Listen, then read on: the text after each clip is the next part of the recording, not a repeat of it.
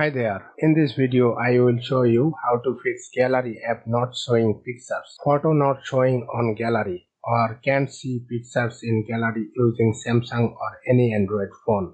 So let's get started.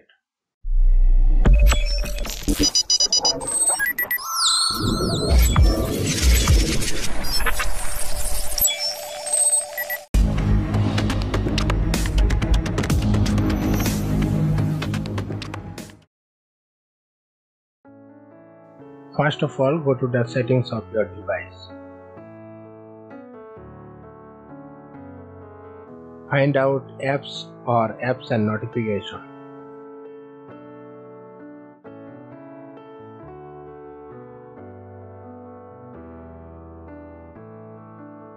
Tap on it. Tap on three dots then select source system app.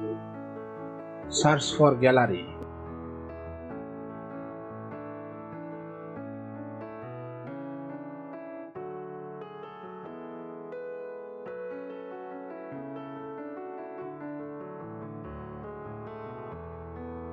Tap on gallery.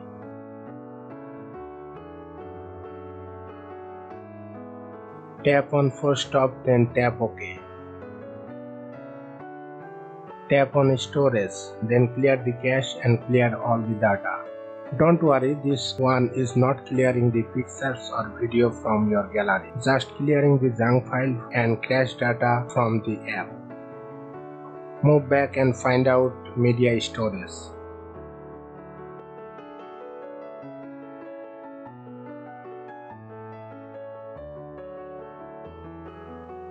Tap on it. Tap on full stop then tap OK. Tap on storage, clear the cache and clear the data.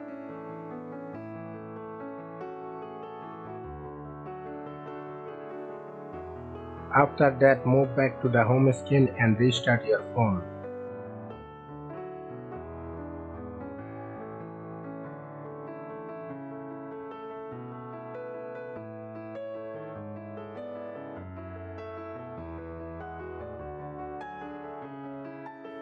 After the restart, unlock your phone and open the gallery app.